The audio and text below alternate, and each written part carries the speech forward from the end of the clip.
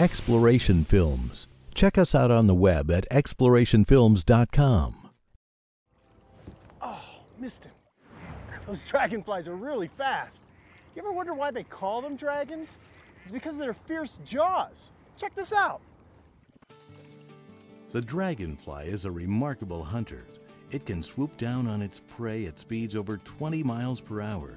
Its wing design gives it incredible flying ability. And with eyes that can spot its prey at over 40 feet, very few will escape.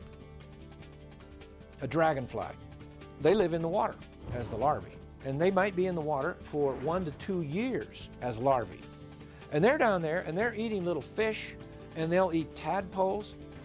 And you know, sometimes there's a bunch of tadpoles here, and here comes a, a dragonfly larva, and it catches one and eats it.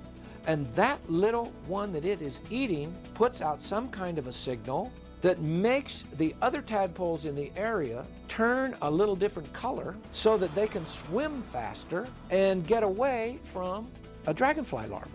I mean, no way that evolution has the answer for those kinds of things. Sikorsky, that invented the helicopter, it is said that he studied dragonflies and got his ideas for helicopters. Well, a dragonfly has two sets of wings, and the front set of wings, if he's flying forward, that will give him his lift, and the back set of wings gives him his propulsion, what pushes him. But they can fly backwards. And when a dragonfly flies backwards, now the back set of wings lifts and the front set of wings pushes. So he is absolutely reversing what the muscles do when he flies backwards, and he can do it in an instant. He can fly up, stop, and fly back.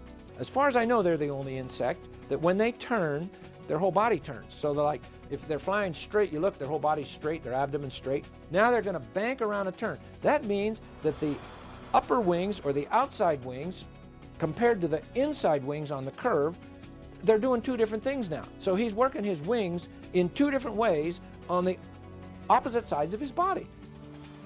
And the wings themselves.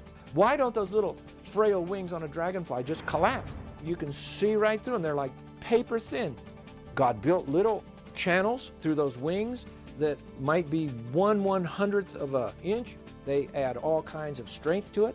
They have cells that are thicker at the tips of the wings so that when it is flying, the wings don't flutter. That's a miracle. I, I don't know how else to explain that. Exploration Films, where curious truths and uncommon minds meet.